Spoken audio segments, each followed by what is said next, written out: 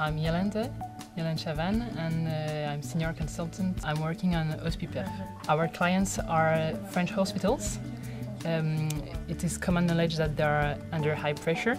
Since uh, we're lacking doctors, the need of care is always growing due to our aging population. And also, uh, hospitals are facing great difficulties to make ends meet. The question is how we help them to offer better care to their patients and also to offer better working conditions to health professionals.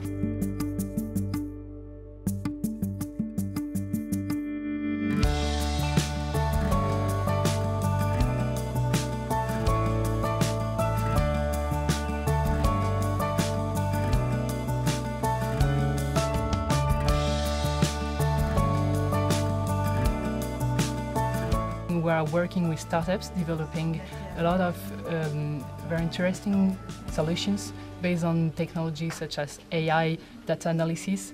Uh, just to give you an example, we're working with a company called Jouve and we're working with them on the um, admission process digitalization.